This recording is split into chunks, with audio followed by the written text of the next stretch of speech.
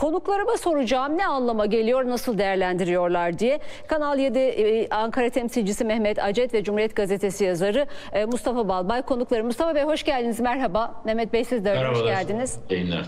Merhaba, hoş bulduk Serap Hanım. Çok teşekkürler. Şimdi bu görüşmeyi konuşacağız elbette. Bir de bugün kürsüden Cumhurbaşkanı Erdoğan'ın yaptığı açıklamalar var. Hem Cumhur İttifakı'na ilişkin hem Sayın Özel'e cevaben. Ee, Biraz izleyicilerimizle onları da paylaşmak istiyorum. Bir kısmını Esra paylaştı. Cumhurbaşkanı Erdoğan dedi ki Cumhur İttifakı'na karşı yapılan saldırılara geçit vermeyiz. Yol arkadaşımız, ittifak ortağımız Milliyetçi Hareket Partisi ile omuz omuza yürüyoruz ifadelerini kullandı. Ee, ve yapılan saldırılara eyvallah demeyiz. Ee, bitleri kanlanan FETÖ'nün tetikçi kalemleriyle nereye varılmak istendiğini çok iyi biliyoruz dedi. Ee, çok net vurgu yaptı. Diğer yandan da e, CHP'ye yönelik sözleri vardı. Normalleşme sürecine ilişkin sıkılı yumrukları açacak olan muhalefettir. Hançerleri kınına koyacak olan muhalefettir. Dilini, söylemini, siyaset tarzını düzeltecek olan muhalefettir. Bizim çabamız aslında muhalefeti normalleştirmektir dedi. Ve şu cümlesi dikkat çekici. İktidar partisi ve ana muhalefet partisi arasında siyasi ittifak olmaz. Uzlaşı olur, yumuşama olur ama ittifak olmaz. Böyle bir çaba içinde zaten biz değiliz dedi. Özgür Özel'e soruldu bu ifadeler CHP Genel Başkanı'na. O da dedi ki muhalefetin normalleşmesi gerek açıklaması pek normal bir açıklama olmamış. Bu açıklamanın normalleşmesi gerekir dedi. İttifak ortağının gönlünü almak için yapmış yapılmış bir açıklamadır. Anlıyoruz dedi e, Sayın Erdoğan'ın bu açıklamalarını. E, bu işin bir tarafı ya da sahibi yoktur e, normalleşmeye ilişkin. E, yani ne benim ne tek başına Sayın Erdoğan'ındır dedi. İlk ziyareti gerçekleştirdim ve bu sayede yıllar sonra bir el sıkışma oldu dedi. Başka cümleler de var yine konuşuruz ama şöyle bir durumu özetlemek istedim. E, bu açıklamaları takip etmeyen izleyicilerimiz için de. Mustafa Bey ne oluyor şimdi burada... E, yani bir ittifak olmaz açıklaması yaptı Cumhurbaşkanı Erdoğan. Nasıl oldu da bu aşamaya geldi? Yani e, AK Parti, ana muhalefet partisi ile iktidar partisinin ittifakı konusuna ve normalleşme ile ilgili süreci şimdi sekteye uğramış olarak görüyor musunuz açıklamalara baktığınızda? Şimdi tabii Serap Hanım e, gazetecilikte e, hani ben demiştim demek çok itici bir sözdür. Yani o şekilde söylemek istemiyorum ama bu diyaloğun e, elbette önemli olduğunu ama çok fazla bir şey beklenmemesi gerektiğini ben daha önce söylemiştim. Çünkü gerçekçi bir zemini yoktu. Yani e, özellikle başta ekonomi olmak üzere pek çok alanda iki partinin ortak bakması çok zordu. Ha diyalog iyi midir? Elbette. Yani zaten bu siyasetin tepesindeki bu diyalog Serap Hanım toplumun içinde var. Hı. Bayram sürecinde hepimiz gitmişizdir. Ben de Anadolu'da pek çok yerden geçtim, uğradım. Yani işte pek çok ilçede karşı taraf AKP'lerin kahvesidir. Yan taraf CHP'lerindir. Bazen karşıda giderler gelirler. Yani bu diyalog zaten halkımız içinde vardır yani. Zaten bu olduğu için Türkiye ne olursa olsun iş barışını büyük ölçüde koruyor. Ama tepede de benzer bir şey olabilir mi diye bakıldı. Ve e, Erdoğan bugünkü açıklamalarıyla bir defa e, saat 16'da şu anda başlamış olan Evet. görüşmenin içeriğini söylemiş oldu. Hani e, Esra Nehir aslında hani fiilen e, bir sorun kalmamış oldu ve durumu açıkladılar. Hani dünkü Devlet Bahçeli'nin grup toplantısı ve şimdi bugünkü Erdoğan'ın öğleyin yaptığı açıklamadan sonra dedi. Gerçekten de öyle. Erdoğan e, MHP ile diyaloğun her şeyin üstü olduğunu, bunun önüne hiçbir şeyin geçemeyeceğini bir kez daha vurguladı. Yani bütün tartışmalara nokta koyan bir açıklama olduğunu mu düşünüyorsunuz? Bugün artık Cumhurbaşkanı Erdoğan'ın bu ifadelerinin Cumhur İttifakı'na yönelik. Fiilen, fiilen şöyle aslında Erdoğan'la Bahçeli arasında zaten bir e, bir kader ortaklığı, bir yol ortaklığı var. Ama her iki partinin de benim gördüğüm bir gelecek kaygısı var. Bu şekilde ne kadar gidecek? Ee, ne, ne ölçüde iktidar sürdürülecek? Bu konuda kuşkuları var bence. Erdoğan'ın Meral Akşener'le görüşmesi, Sinan Oğan'ı sahaya sürmesi, bütün bunlar e, AKP dışındaki milliyetçi sağı nasıl, merkez sağı nasıl kendi periferinde tutacağına yönelik arayışların bir parçası. Erdoğan'ın AKP içinde bir dönüşümü, bir yenilenmeyi, toplumun karşısına bakın biz e, kendimizi yeniledik demenin ortamını araması, işte 30 Haziran 1 Temmuz arasında bu bu temaslarda bulunacak. Parti içinde yeni değerlendirmeler yapacak. AKP bir yenilenme ve bir arayış içinde. Bu arada 31 da görüşme başladı. Kusura bakmayın. Ee, dinleyen Tabii. izleyicilerimiz de var. Onlar için de söyleyeyim. Cumhurbaşkanı Erdoğan'la MHP Genel Başkanı Devlet Bahçeli'nin e, külliyedeki görüşmesi de şu dakika itibariyle başladı. Buyurun lütfen. Zaten e, Devlet Bahçeli ile Erdoğan arasında dört temel bir iletişim e, mekanizması var. Birincisi şu anda gördüğümüz gibi baş başa görüşmeler. İkincisi iki partinin milletvekillerinin mecliste e, kurdukları diyaloglar. Üçüncüsü e, ki bu yanı çok önde olmuyor ama Devlet Bahçeli'nin özellikle zaman zaman kişiye özel yazdığı mektuplar. Hani belki de tarihe not düşmek bağlamında ileride kimi konular gündeme geldi de bunu Erdoğan'a bir özel ulakta ilettim deme zemini. Hani Devlet Bahçeli'nin böyle bir kendince sağlamcılığı da var. Üçüncüsü bu. Dördüncüsü de Ferdi Tayfur üzerinden, sosyal medya üzerinden, fotoğraflar üzerinden böyle bir dörtlü iletişim var. Biz bunların tümünü son 10 gün içinde yaşamış olduk. Bir anlamda AKP ile MHP CHP üzerinden ilişkilerini böyle bir e, temize çekmiş oldular. CHP üzerinden kendi ilişkilerini bir çek etmiş oldular ve biz beraber yürüyeceğiz demiş oldular. Burada hani e, bir kaybe- kazanan kaybeden gibi bir hesap yapmayı da gerek yok bence. Siyasette bir yöntem denendi. Özgür Özel ben genel başkanın yeni bir şey denemek istiyorum dedi. E, Özgür Özel de bunu yaşamış oldu. Özgür Özel de görmüş oldu. Örneğin hani Kılıçdaroğlu'nun çok farklı bir yöntemi vardı. Hatta Kılıçdaroğlu bunun bir çıkış olmayacağını, böyle bir diyaloğun çok sağlıklı olmayacağını söylemişti. Ama şimdi gelinen noktada Özgür Özel hem müzakere hem mücadele derken bu biraz da şeye benziyordu. Ben hem pilot olmak istiyorum hem hostes olmak istiyorum demek gibi bir şeydi. Bence e, Tekrar mücadeleye birisi. dönüldü diyorsunuz. Yani dili geçmiş zaman kullan. Bugün hatta asgari ücretle ilgili konuyu da çok dağıtmadan söyleyeyim eh, Mehmet Bey'e dönmeden. Asgari ücretle ilgili e, e, Sayın Işıkhan'ın açıklamaları üzerine dedi ki e, bu açıklama üzerine artık bu konuda müzakere edemeyeceğimiz ortaya çıktığı için bu konuda mücadele edeceğiz. İşte geçinemiyoruz mitingimiz var dedi. O müzakere mücadele ifadesine ilişkin Özgür Özel'in böyle de bir son ifadesi var. E, sizin dediğiniz yerden ben hemen Mehmet Acet'e sormak istiyorum. E, AK Parti ile MHP ilişkisini e, CHP üzerinden bir temize çekmiş oldu ve güçlendirdi dedi Mustafa Balbay. Ne diyorsunuz bu ifadeye? Şimdi şöyle ben bunu bir yani bugünkü bu görüşmeyi bir güven tazeleme görüşmesi olarak nitelendiriyorum. Öncesinde e, bayram arifesinde İspanya İtalya gezisine çıkarken Cumhurbaşkanı Erdoğan'ın bu konuda MHP'den gelen açıklamalarla e, bir tartışma başlamıştı. Yani Cumhur İttifakı'nın akıbeti ne olacak diye. Hemen oradan e, Erdoğan daha oradayken Ömer Çelik, Çelik Parti Sözcüsü adına e, net bir açıklama yaptı. Yani Cumhur İttifakı'na bağlılığını AK Parti'nin ifade eden. Dönüşte de uçakta yine e, Cumhurbaşkanı Erdoğan bu konuda yani Cumhur İttifakı'ndan herhangi bir vazgeçme olmadığına dair açıklamalar yaptı. Yetinmedi. Onun devamında da hemen her gün her konuşmasında bu konuya değindi. Bugün grup konuşmasında da bunun ötesine geçerek Evet. e, Milliyetçi Hareket Partisi'ne bazı konularda örneğin bu Sinan Ateş cinayetiyle alakalı e, Cumhuriyet Halk Partisi çevrelerinden ve CHP yakın medyadan MHP'ye yönelik e, yapılan e, suçlamalara karşı da MHP'ye bir destek açıklaması da vardı bugün dikkatinizi çekmiştir. Şöyle dedi, Cumhur İttifakı her ne kadar farklı siyasi partilerin bir araya gelmesinden teşekkür etmiş olsa bile Türkiye adına, e, mi- milletimiz adına birdir, tek yürektir, tek ruh, tek vücuttur. Cumhur İttifakı'nın herhangi bir üyesine yapılan saldırı doğrudan doğruya Cumhur İttifakı'nın birliğine, bütünlüğüne, insicamına yapılmıştır e, diye. Bunun ötesinde yani AK Parti'nin Cumhur İttifakı'na verdiği e, desteğin e, ötesinde MHP'ye bir destek, MHP'ye dönük bu konuda e, yapılan e, bir takım suçlamalara ya da e, saldırılara karşı da Erdoğan'ın net bir desteği burada e, söz konusu oldu. Şimdi şöyle tabii yani 31 Mart'tan sonra e, bir taraftan yani iki iradenin çatışması var. Bir tarafta bunu hem Erdoğan hem Bahçeli'nin sözlerinde de gördük.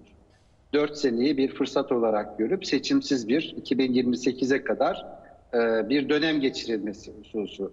E, bunun tabii bir ön şartı da Cumhur İttifakı'nın devamıdır. Yani en kestirme yol seçimsiz bir e, 4 yıl e, olmasın diyenler açısından en kestirme yol da Cumhur İttifakı'nın bozulması. Yani bunun bozulması halinde zaten e, işte mecliste e, AK Parti tek başına çoğunluğunu kaybedecektir.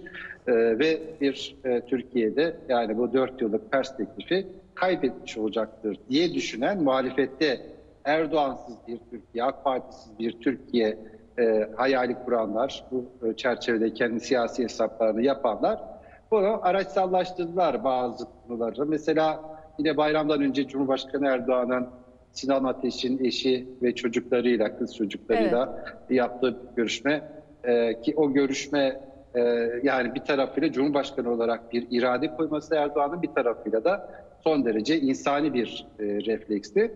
Ama onu o görüşmeyi az önce dediğim gibi Cumhur İttifakı'nı bozmaya çalışan e, bir takım çevreler yine araçsallaştırdılar. Kimler Mesela- bunlar e, Sayın Acet? Çünkü e, yani Cumhurbaşkanı diyor ki e, uz- yumuşama olur ama uzlaşı, uzlaşı olur ama ana muhalefetle bir ittifak olmaz. Böyle bir çabamız yok e, diyor. E, zaten CHP de daha önce söyledi bizim böyle bir çabamız yok. Yani iki ittifak arayışı varsa şöyle- e, Türkiye ittifakına e, gelsin diye Sayın Bahçeli'ye bir yanıt verdi vesaire. Peki nasıl oldu da böyle bir e, ittifak arayışı varmış gibi bir noktaya getirildi? Şimdi şöyle e, yani birincisi e, Sayın Cumhurbaşkanı'nın Ayşe Hanım'la Ayşe Ateş'le görüşmesinin öncesinde ve sonrasında e, hem Özgür Özel'in hem de daha önce altılı masada e, olan e, diğer parti liderlerinin hemen arka arkaya üst üste görüşmeleri oldu ve orada bir e, siyasi okuma anlamında bunu ben e, söylüyorum. E, bir MHP'yi yalnızlaştırma e, projesi, bir MHP'yi tek başına bırakma hedefi yani buna dair o, o görüntüler, o görüşmeler bir e, en azından bir okuma verdi yani bu siyasi okuma verdi. E, bunun dışında zaten 31 Mart'tan sonra e, yani AK Parti işte Erdoğan artık toparlayamaz. Özgür Özel'in Erdoğan'la görüşmesini sırf bu nedenle yani işte erken seçim olacaktı ama siz e, işte Erdoğan'a zaman kazandırıyorsunuz diye CHP içinde itiraz eden çevreler zaten bu e, 4 yılın e, Türkiye adına bir seçimsiz bir şekilde geçmesini istemeyenler derken kastım o. Bunların içerisinde Ekrem İmamoğlu ve onun etrafında kümelenen çeşitli gruplar var ki onlar işte Özgür Özel'i Erdoğan'ın oyununa gelmekle suçladılar e, mesela. E, Kemal Kılıçdaroğlu zaten başından çok net ve sert bir şekilde bu sürece e, karşı çıktı. E, burada da tabii yani zaten o cepheden baktığımızda e, 2028'e kalmadan bir seçim olmasını arzu edenler açısından nereden nasıl ne yapabiliriz diye baktıklarında en kestirme yol Cumhur İttifakı'nın bozulması olarak karşımıza çıkıyor. Ben işin bir ayağında bunu e, görüyorum. E, bir ayağında da tabii yani e, yine e, işte AK Parti içerisinde 31 Mart'tan sonra bir takım arayışlar, yani seçim sonuçlarının muhasebesini yapma ve çıkış yolu anlamında bazı adımlar atılmasını isteyenler de e, tabii söz konusu oldu. E, buradan da tabii bir hassasiyet gelişti. Bunu da görüyoruz ki me- Sayın Bahçeli'nin yaptığı açıklamada o da vardı. E, yani AK Parti içindeki memnuniyetsizler gibi bir, bir takım e, bir, bir ifadesi de vardı orada e, yapılan açıklamada. Ama son tahlilde tabii e, burada e, Erdoğan burada ne yapılmak istendiğini ya da Cumhur İttifakı'nın bozulmasının maliyetinin ne olacağını e, açık bir şekilde gördü. E, Sayın Bahçeli Milliyetçi Hareket Partisi de aynı şekilde E, ve 15 Temmuz ruhunu bir anlamda canlandıran ifadeler de vardı bugünkü konuşmasında Sayın Erdoğan'ın. Tekrar bir güven tazeleyerek yola devam kararı almış oldular. Peki e, Sayın Balbay siz katılıyor musunuz buna? Yani 2028'e kalmadan seçime gitmek isteyenler Cumhur İttifakı son bulsun çabasında mı? Yani Cumhur bir hedef defa- alanlar sizce kimler? Yani CHP'ye de bu yönde bir eleştiri var. Bu Sinan Ateş davası üzerinden Mehmet Acet de dile getirdi. Buna e, ne dersiniz? Bir defa CHP içinde yani İmamoğlu dahil belediye başkanları hani hemen seçim diye e, öne çıkan bir anlayış olmadı.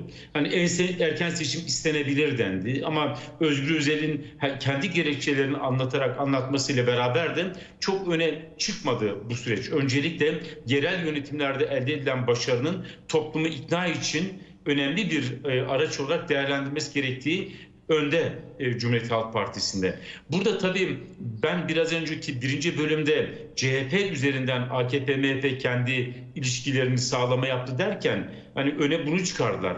Ama aslında eğer Cumhur İttifakı'nı bozma ya da bu ittifakı biraz zedeleme e, ye yönelik en büyük adım hangisidir derseniz ben Meral Akşener derim. Öyle mi? Çünkü tabii ki Meral Akşener'le görüşmenin içeriğinde şimdi en azından tabii ki böyle bir ikili görüşmede şunlar görüşüldü diye iddialı bir görüş ortaya atmak olmaz. Ama benim gördüğüm, benim ulaştığım bilgim Erdoğan'ın Meral Akşener'e e, işte merkez sağın toparlanması lazım. Orada güçlü bir lider gerekiyor. Milliyetçi sahada toparlanmalı gibi e, böyle siyasette havuç diye özetleyebileceğimiz bazı cümleler kullandığı yönünde.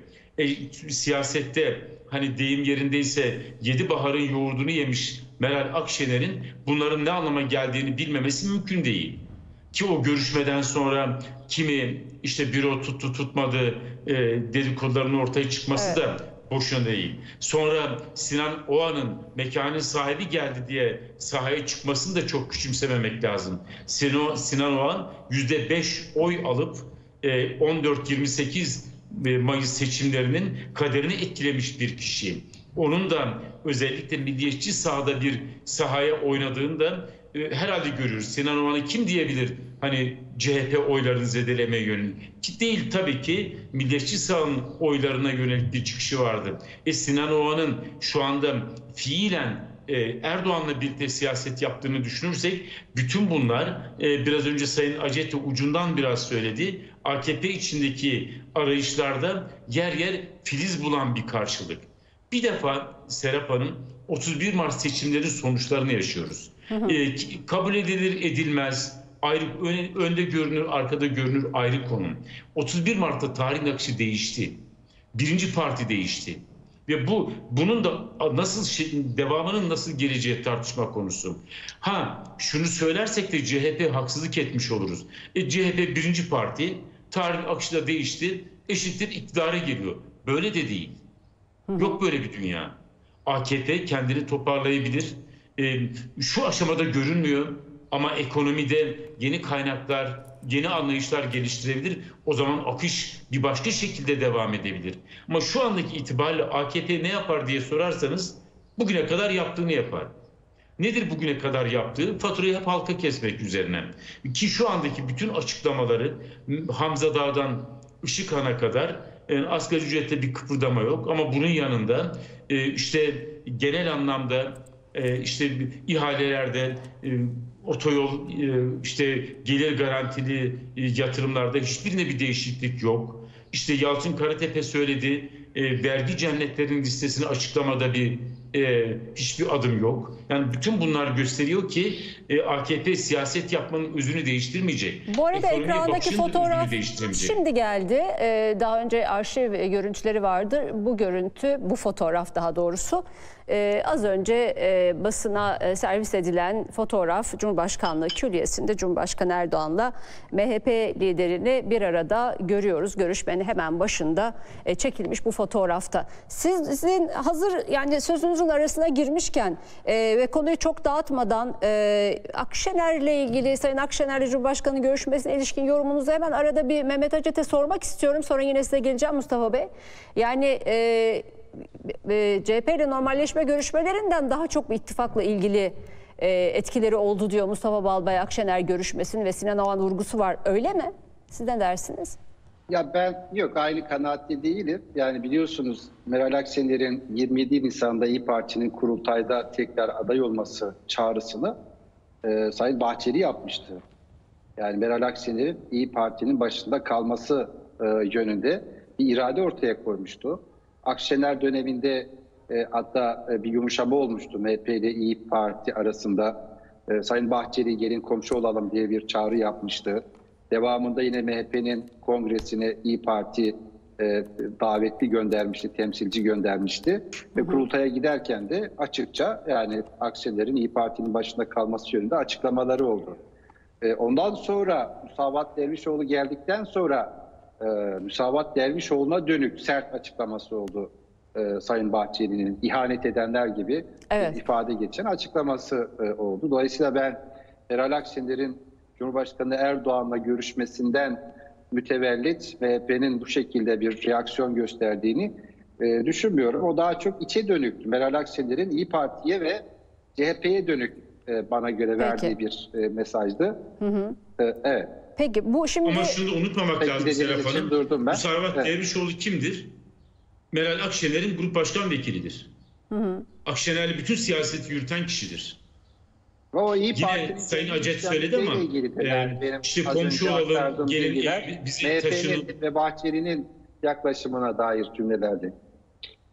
E, komşu olalım, gelin bize gelinleri hep e, Meral Akşener e, işte yuvaya dön dediklerinde akşam evime gidiyorum deyip hani aracından bir telefonla bilgi ver, şey yapmıştım. Yani bir defa Cumhur İttifakı'nın İyi Parti'ye ve Meral Akşener'e bakışı hep şaşı oldu. Önce yok saydılar. Sonra yanlarına çekmeye çalıştılar. Sonra CHP üzerinden terör örgütüyle bağlantım var demeye çalıştılar. Sonra e, gel bize katıl dediler. Katılmıyorsan gel bize komşu ol. Bizim mahalleyi taşın dediler. Yani bütün bunlar kendi içinde hep e, dalgalanmayla gitti geldi. Ama gelinen noktada, gelinen noktada ben hani e, Devlet Bahçeli'nin sağlığının da Erdoğan'ın gündeminde olduğunu düşünüyorum. Yani bütün bunlar hani siyaseti Türkiye'de çok hassas konular ama dünyada bunlar çok daha gerçekçi konuşulur. Yani örneğin bir devlet başkanlığı ya da ülkeyi yöneten bir kişinin sağlığı kamuoyuna en ayrıntılı şekilde rapor edilir. Denir ki bizim partimizin genel başkanı şu hastalığa yakalanmıştır, e, şu düzeydedir, e, şu zamanda iyileşecektir diye çok açık kamuoyuna bilgi verilir. Yani ama bizde bu daha farklı. Amerika'da Yani- ayakta durmakta zorlanan bir başkan yönetiyor Amerika'yı şu anda. Ama hep bilgi veriyorlar. Diyorlar ki başkanın sağlığı şu, şu aşamada. İşte bu şeyde de böyle oldu yine aynı şekilde. Hani İngiltere'de e, Yani işte demans e, olduğuna dönük bir açıklama yok mesela. Çok yani o verdiği e, ama genel olarak hani yönetebilecek durumdadır. Yani net bilgi veriyorlar. Bunlar saklanmaz ama bizde oluyor. Geçmişte Ecevit'le ilgili de oldu. Yani böyle bir başka kişiselleştirildi konu. Halbuki ülkeyi yöneten kişinin sağlığı hakkında ülkenin bilgi sahibi olması gerekir yani geneleksel olarak Türkiye'de buna bir şey bakış var. Hani daha farklı duygusal bir bakış var. Ben Erdoğan'ın gündeminde Devlet Bahçeli'nin sağlığının da olduğunu düşünüyorum. Yine bugün ortaya çıkan bir başka gerçek çok da iddialı söylemiş olmayayım ama Sinan Ateş davası bitmiştir. Sinan Ateş davası e, şu anda iddianamede zaten iddianame çatallıdır. İddianamenin işte e, bir grup insan, bir grup kişi iddianamenin içinde yer alıyor ama suçlamalarda yer almıyor. Çarpık bir iddianamedir. yani bitmiştir derken neyi kastediyorsunuz? Tam da Mehmet Acet'e söz verecektim. E, bugünkü görüşmenin ilk maddesi bu arada Sinan Ateş davası mıdır? Şu anda başlayan görüşmenin e, Yani en öncelikli konusu bile- sizce. Öyleyse hangi çerçevede siz bitmiştir derken neyi kastediyorsunuz? Ki onun üzerine Mehmet Acet'in yorumunu alayım. Bir defa burada e, doğrusunu isterseniz Cumhuriyet Halk Partisi'nde bu davaya olması gerekenin ötesinde bir ilgi göstermesi e, davanın e, böyle bütün çıplaklığıyla ortaya çıkmasına fayda sağlamaz. Çünkü politikleştirir. Hemen e, işte partimize yönelik saldırı var vesaire var. Vesaire Olması gereken üzerinde da bir ilgi mi gösteriyor şu anda Ama- CHP parti? Yani Sayın Kılıçdaroğlu'nun bıraktığı yerden Sayın Özel götürüyor çünkü ediyor. konuyu. Yani ben bu durum e, po- politik politize olmaya daha yatkın hale getirir diye düşünüyorum. Yani bütün mesele sadece bu cinayet aydınlanmalı. Hep başka hiçbir zemine sokmamak lazım. Hakikaten Türkiye'de bir cinayetin faili meşhur kalması e, yeni cinayetler doğurmuştur. Siyasi tarihimizde maalesef. Yani 46'da e, hani Hıfzı Tofuz'un basın tarihi kitabında e, böyle net bir ifade olarak geçer. E, 1946'da Sabahattin Ali'yi öldürenler bütün çıplaklığıyla ortaya çıksaydı Uğur Mumcu öldürülmezdi. Uğur Mumcu cinayeti tüm her şeyle ortaya çıksaydı Kışlalı öldürülmezdi. Yani bu- bunu silsileyi birbirine bağlayabiliriz. Yani bu cinayetler e, gölgede kaldığı için daha doğrusu sadece tetiği çeken el ortaya çıkartıldığı için e, bütün boyutlarıyla ortaya çıkartılması zor hale geliyor. Şu anda Erdoğan'ın MHP'ye yönelik her saldırıyı göğüslüyoruz. Hiç kimse laf edemez. MHP'ye yönelik hiçbir şey, onlara yönelik hiçbir gölge kabul edilemez demesinin ne anlama geldiğini hepimiz biliyoruz. Peki. Ama bu iddianamenin, bu dosyanın içinde e, iddianamede suçlananlar arasında yer almayan ama iddianamede yer alan ilginç bir şekilde isimlerin de olduğunu biliyoruz. Şimdi iddianamede yer alıp suçlananlar arasında yer almayanlar e, ikilemi kakofonik bir durum. Böyle devam edecek. Ben öyle anladım bu açıklamalardan. Hemen Bir- bunu tem- Mehmet Acet'e de sormak istiyorum. Ee, Aynı soruyu da yani bu görüşmenin en önemli maddelerinden birisi ateş davası mı? Çünkü hafta başında başlayacak ilk duruşma. Yani e, yakından takip edilen Hayır, bir yani konu. onu mahkeme 1 Temmuz'da mahkeme başlayacak zaten o duruşmaya. İşte yani 22 e, tutuklu var e, bu davada E, ve bir yargılama başlayacak. E, burada tabii nereye kime gidiyorsa gitmeli yani burada yani bütün ülkeyi sarsan bir cinayetle e, Sinan. Ateş cinayeti böyle bir cinayettir. Nereye uzanacaksa uzanmalıdır. Bu ayrı bir şey. Ama buradan Cumhuriyet Halk Partisi'ne yakın medyanın aylardır böyle yaptığı gibi iki amaçla bir, Milliyetçi Hareket Partisi'nin kurumsal e, kimliğini kriminalize etme çabası, arayışları. Yani CHP ile MHP'nin 10 yıllara sari bir mücadelesi vardır biliyorsunuz. Buradan yola çıkarak MHP'yi, Milliyetçi Hareket Partisi'ni kurumsal anlamda da kriminalize etme arayışları var. Akşam CHP'nin mi sabah böyle bir arayışı var diyorsunuz Bu olay- Mehmet Bey? Cumhuriyet Halk Partisi şimdi Bahçeli de Sayın Bahçeli e, bu konuda dünkü grup konuşmasında isim vererek bazı medya gruplarını e, bu konudaki yayınlarına e, serzenişte bulundu, tepki gösterdi. Burada yani MHP'yi kurumsal olarak burada kriminalize etme, MHP böyle anlıyor en azından. E, bir çaba, bir arayış olduğu düşüncesi Milliyetçi Hareket Partisi'nde var. Mesela Ayşe Ateş yani e, burada Sinan Ateş'in e, eşi olan hanımefendi kendisi Devlet Bahçeli'nin hiçbir şekilde bundan haberi yok. Yani ben e, hiçbir şekilde Devlet Bahçeli'nin haberinin bile olmadığını düşünüyorum şeklinde açıklamaları var. Yani birinci derecede eşi e, bu açıklamaları e, yaparken e, öbür tarafta yani dediğim gibi tamamen siyaseten araçsallaştırma çabası. Bir tarafıyla da yani ilk bölümde konuştuk. Bir tarafıyla da işte AK Parti MHP'yi e, arasında açmak için de yine araçsallaştırılan bir mesele haline bu dönüştürüldü. Onunla ilgili de söyledim. Yani Cumhurbaşkanı Erdoğan hem bu cinayetinin arkasının aydınlatılması konusunda devletin başı olarak bir irade koydu. Hem de çocuklarıyla birlikte bu aileye sahip çıkarak son derece insani, merhametli bir duruş sergiledi. Ama eş zamanlı olarak birileri de bunu da araçsallaştırdı. Bunu da MHP'yi yalnızlaştırmak için başka türlü aksiyona çevirdiler. Ben bir gün önce e, ve bir gün sonra Altılı Masa'nın yani DEVA, Gelecek, Saadet, Cumhuriyet Halk Partisi hemen herkesin niye özellikle o günlere denk getirirdi? Yani Allah'ın başka günü mü yoktu? E, pekala konuşulabilirdi. Orada siyasetten bir amaç güdüldüğünü ben düşünüyorum. O amacın da bu görüşme üzerinden, Erdoğan'ın yaptığı bu görüşme üzerinde AK Parti ile MHP'nin arasını açma e, amacı olarak görüyorum. Evet. Devlet Bey de yani e, Allah e, uzun ömürler versin. Yani bunu bütün siyasiler için de bunu söylüyorum. Yani bu görüşmeyle e, ilgili olarak da e, bu görüntüler şu anda kamuoyunun beklediği e, görüntüler. Evet ekrandaki görüntüler de Bu tabii görüntü, sadece fotoğraf değil bu görüntü de yeni e, görüntü onu da görüntüler. söyleyelim. Az önce kaydedilmiş görüntüler. Evet. Evet. Ee, Bir de şimdi Mustafa Bey'in çeşitli değinmeleri oldu. Ee, Yani o konularla ilgili de birkaç şey söyleyeyim.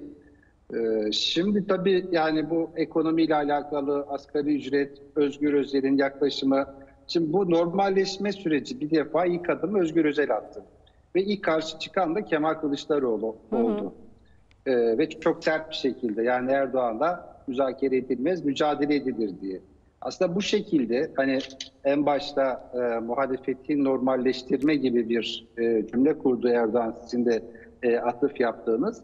E, şimdi burada zaten Sayın Kılıçdaroğlu bu anormalliği yani diyalogdaki bu anormalliğin asıl müsebbibinin CHP cephesi daha doğrusu kendisi ve kendi etrafındakiler olduğunu e, ifade etmiş oldu ya da e, ifşa etmiş oldu e, Sayın Kılıçdaroğlu. Yani ben görüş ben görüşmediğim gibi yanında ötesinde berisinde de bulunmadım. Hatta yani bunu bir politika haline getirmiş Cumhuriyet Halk Partisi Erdoğan'la diyalogsuzluk politikası. E, 2019 yılında saraya giden CHP'li diye bir e, sonradan asparagas olduğu anlaşılan bir haber çıkmıştı Evet. biliyorsunuz. Günlerce tartışıldı. Orada da temel mottosu şuydu o haberin. Yani Erdoğan'la bir CHP'li nasıl görüşür? nasıl e, yan yana gelebilir? E, dolayısıyla orada ben de hani çok fazla Mustafa Bey en başta söyledi yani fazla anlamlar yüklememek gerekiyor. Ama olanla ben bir diyalogda normalleşme olarak görüyorum. Yani sadece normalleşme ya da sadece yumuşama değil de diyalogda normalleşme Siz olarak de görüyorum. peki bu da diyalogda normalleşme ge- yani bugünkü artık ifadeler sonrası bu arada Cumhurbaşkanı Erdoğan'ın e, Sayın Özel'in suç ortağı kimse suç ortağını bize doğru itmesin diye bir ifadesi vardı. Evet. E, Daha önce de buna yanıt verdi ama bugün onunla ilgili de bir ifadeleri var. E, Onu da ben bu arada paylaşayım. Diyaloğa şans tanıma arzumuz partimize ve Cumhur İttifakı'na yönelik hadsizliklere göz yumacağız anlamına gelmez. Yumuşak başlıyız ama boynu çekilecek uysal koyun da değiliz. E, şimdi çıkmış sabah akşam suç ortakları diyor diyor Sayın Özel için. E, suç ortağı arayanlar para kulelerine baksınlar. E, yerel seçim öncesi bu e, bina alımı e, konusundaki görüntüler vardı ya. Sözde kent uzlaşısında kimlerle yol yürüdüklerini sorgulasınlar diyor Sayın Cumhurbaşkanı e, CHP'ye. Muhalefetten eski alışkanlıklarını artık terk ederek normalleşmelerini bekliyoruz. Eleştiri sınırını aşan yakışıksız ifadelere izin vermeyiz. Kimseyi de başarı hikayemize ortak etmeyiz dedi. E, bir cümleyle Mehmet Acete yani bu normalleşme girişimlerini ve sürecini artık e, noktalayan bir ifade olur mu yoksa devam eder mi diye yorumunuzu alayım. Mustafa Balbay'ın da ardından Ben görüşünü e, yani nokta koyma cümleleri olarak görmedim e, bunları. İlerleyen dönemlerde yeniden karşımıza çıkabilir. Pekala liderler seviyesinde görüşmeler de Mesela işte olabilir. Kuzey Kıbrıs Türk- Türk Cumhuriyeti'nde e, Barış Harekatı'nın Evet. yıl dönümünde yan yana gelmeleri bekleniyordu gibi yakın zamanda. Ben bu sözleri işin yani bu diyalog sürecinin doğasına da ters görmüyorum. Onu da söyleyeyim. Yani bu da eşyanın tabiatına uygundur. Sonuçta e, siyasi rekabet içerisinde olan e, liderler ve partilerden e, söz ediyoruz. Dolayısıyla e, bir araya geldiler, görüştüler e, diye e, muhalefet muhalefet etmekten, iktidar e, buna cevap vermekten geri duracak, imtina edecek diye bir durum söz konusu değil. E, bunları da ben e, doğal karşılıyorum. Yani e, hem Cumhurbaşkanı Erdoğan'ın yaptığı açıklamaları hem de Özgür Özel'in yaptığı açıklamalar ama biraz Özgür Özel bence yani bir Ekrem İmamoğlu cephesinden, iki Kemal Kılıçdaroğlu cephesinden gelen baskılara karşı e, biraz tutunmakta zorlanıyor. Yani bu zemini, bu atmosferi korumada biraz zorlanıyor. İlk açıklamayı ilk çıkışta o yaptı. Yani ona kadar Erdoğan'ın CHP'ye dönük veya Özgür Özel'e dönük dikkat ederseniz son 31 Mart'tan e, sonra daha dikkatli ve çok böyle eleştirel suçlayıcı konuşmalardan uzak duruyordu. İmtina ediyordu en azından Erdoğan. Şimdi tabii bu suç ortağı ifadesini Özgür Özel önce onu da Ekrem İmamoğlu'nun yanındayken e, yaptığı bir açıklamada kullanmıştı. Ben biraz hani iki cepheden de gelen e, baskılara, taziklere karşı biraz zorlandığını ve ona binaen e, böyle her tarafa e, hani e, bir, bir nevi kartvizit dağıtan açıklamalar yapmaya başladığını düşünüyorum. Ee, öyle mi Mustafa Bey? Yani bu iki cepheden bir baskı var mı Sayın Özel'in üzerinde normalleşme sürecine ilişkin? Şimdi bir defa e, Özgür Özel 4-5 Kasım'da genel başkan oldu. 31 Mart'ta lider oldu. Yani Manisa dahil 15 ilde %50'nin üzerinde oy aldı. Çok büyük başarı gerçekten. Bence bunun üzerinden gitmesi bu diyalogdan daha önemliydi. Ama o geçti artık. Ama şimdi Erdoğan normalleşti bence bugün. Ee, bu seçim öncesi iklime döndü Erdoğan. Çünkü para kulelerinin e, çıkış şeklini anımsıyorsunuz. Dediler ki bu kurultay sürecinde olmuştu dediler. Öyle olmadığı anlaşıldı.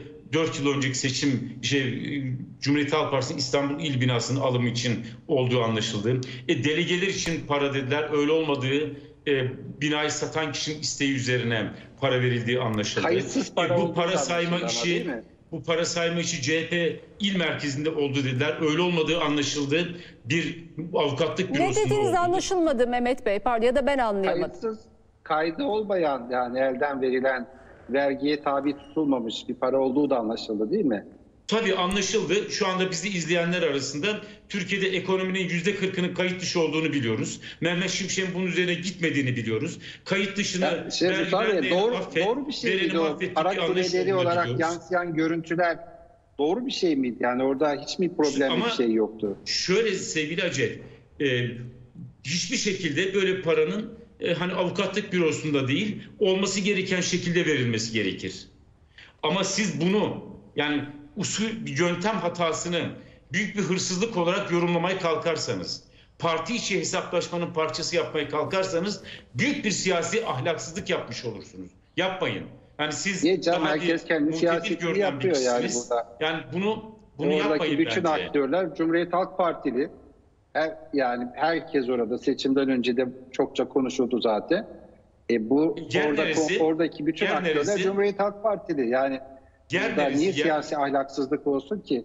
Niye siyasi Şöyle ahlaksızlık olsun Ya- ki? Yani yer burada neresi diyor burada- Mustafa Balbay e, Mehmet Bey size? Yer neresiymiş ben bilmiyorum. Avukatlık ofisi Ama sonuçta o açıklandı paranın.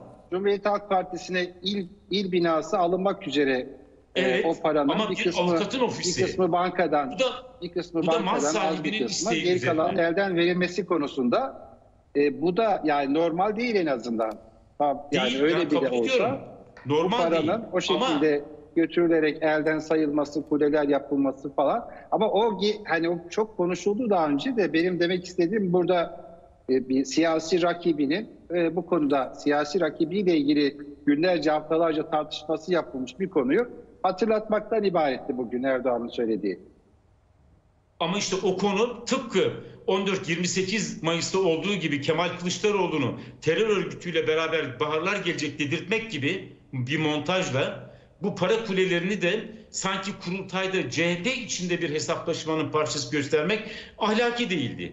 Tekrar ediyorum para orada verilmemeliydi. Normal bankada nasıl olması gerekiyorsa o şekilde verilmeliydi. Ama bizi izleyenlerden eminim her üç kişiden biri böyle bir şey yaşamıştır. Diyor ki parayı şuraya getir diyor. Bence olmaması gerekir.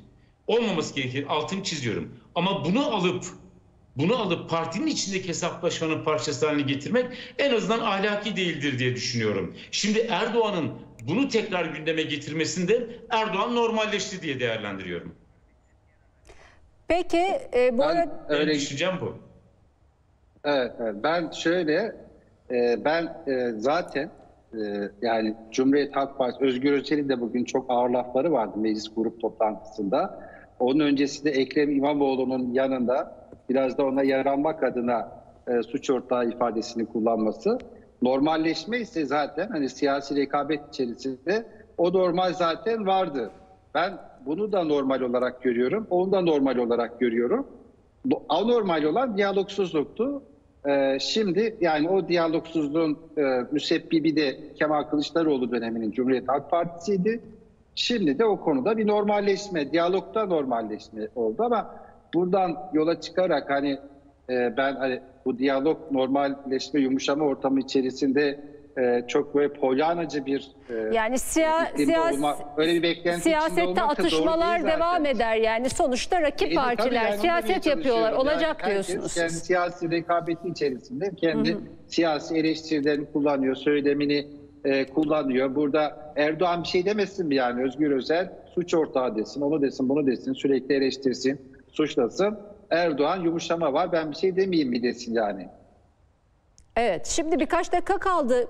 Aslında bugünkü e, görüşmeden de bağımsız ama bir cümleyle Mustafa Balbay'a sormak isterim bu. Siz bir baskı var dediniz ya birkaç gündür e, Sayın Kılıçdaroğlu'nun Mansur Yavaş'la görüşmesi ve Ekrem İmamoğlu ile görüşeceği haberleri üzerine tüzük kurultayı seçimli kurultaya mı dönecek genel başkan değişikliği mi hedefleniyor e, e, e, CHP içinde diye biliyorsunuz dedikodular ve iddialar var. Ne diyorsunuz e, buna ilişkin birkaç cümleniz olur mu Mustafa Bey? Şimdi şöyle tabii biraz önce ucundan e, Sayın Acet de dokundurdu. E, iktidar kanadında, Cumhur İttifakı'nda böyle e, Ekrem İmamoğlu'na yönelik ağır eleştiriler ama Özgür Özel'e yönelik büyük övgüler diye özetleyebileceğimiz bir asimetrik yaklaşım var. Burada amaç doğal olarak Cumhuriyet Halk Partisi'nde içinde bir çatlama olur mu diye bir arayış var. Ama hiçbir şey yokken hani böyle bir e, yüklenme yapıyor da diyemem ben. Elbette e, bir mücadele yaşandı Cumhuriyet Halk Partisi'nde. Öteki partilerde olmayan iki parti, iki adaylı bir yarış yaşandı. E, Doğal olarak onların tortusu da oldu.